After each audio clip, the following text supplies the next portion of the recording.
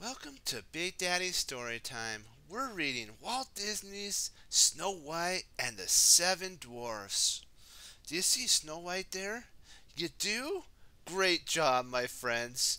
You want to come along and read about it with me? All right, let's do it.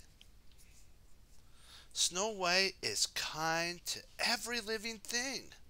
Do you see Snow White there being kind to every living thing?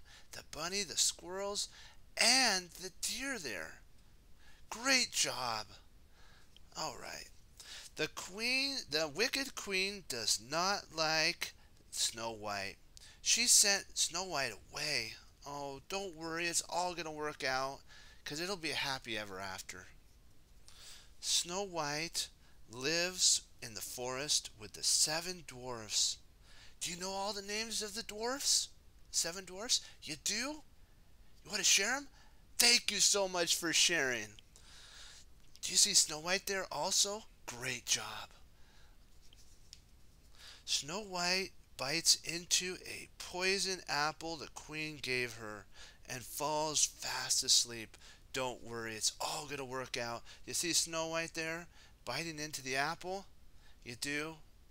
Great job. The prince kisses Snow White and and wakes her. Do you see that? That he comes to the rescue and there's a happy ever after and look of true love's kiss too. That's so sweet. Okay, what have we learned today? We learned from Snow White that being kind, doing and having fun and doing the right thing is important. Have a special and happy day today, my friends. Be sure to like, favorite, and subscribe. Stay tuned for more Big Daddy Story Time. Be blessed, my friends. Bye bye.